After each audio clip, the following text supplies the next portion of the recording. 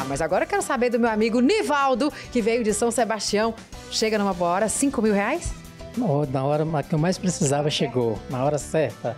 Vai fazer o que com 5 mil reais do nosso capital de prêmio? Vou pagar umas contas e dar um passeio com a minha esposa. Aí eu gostei, muito bem, excelente investimento, não é verdade? Isso, muito bom investimento. Maravilha, e você? Tá vendo o QR Code aí na tela? É só apontar agora a câmera do seu celular.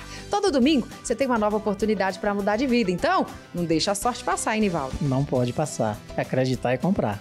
A sorte vem! Agora é com você!